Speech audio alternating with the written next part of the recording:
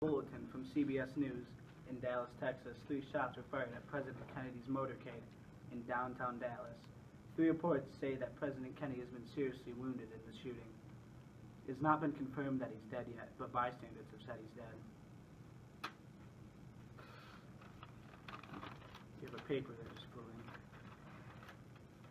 Oh, it has been confirmed that JFK is dead. Show him the paper. I can't believe it. Just give me a moment. Excuse me, just, give me a minute, sorry. Uh, seems that another paper has flown in.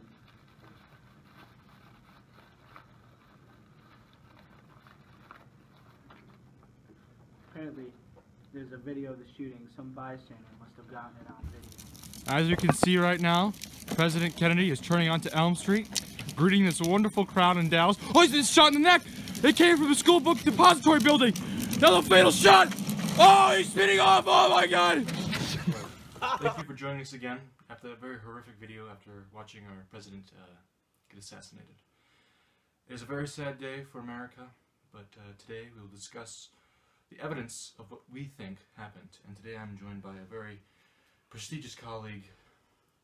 Well, so now will run through the evidence which we have been given by a very trusted source, and uh, I'll say off right off the bat, uh, many witnesses that were at that day uh, on Elm Street said that they heard gunshots echoing. And since the uh, bullet wound was bigger in the back of the head, that also means that the entering wound came from the uh, the front, and the book depository was behind it. So it doesn't make any sense. It must have. Many sources that are stating that the CIA was very angry with Kennedy of the lack of use of them and also trying to get out of Vietnam. So what we are saying that we think that the CIA planned this. Also, we've heard that witnesses said that the shot came from an upward angle, meaning that if the shot did come from the grassy knoll or Texas Book Depository, it wouldn't have come from an upward angle. It would have came downward. So, meaning that the shot must have come from the sewer. We have these last facts stating that the CIA did plan this out and had very much knowledge of this assassination, even to go as so far as training these shooters and having multiple shooters. Not only having it set up by the sewer, but also in different places. We also have figured out the sewer was the best spot to take the shot. It was on a perfect angle, not too far left or too far right. So as you can clearly see here, here is our evidence that a man climbed down the drain and was able to get the fatal headshot on JFK.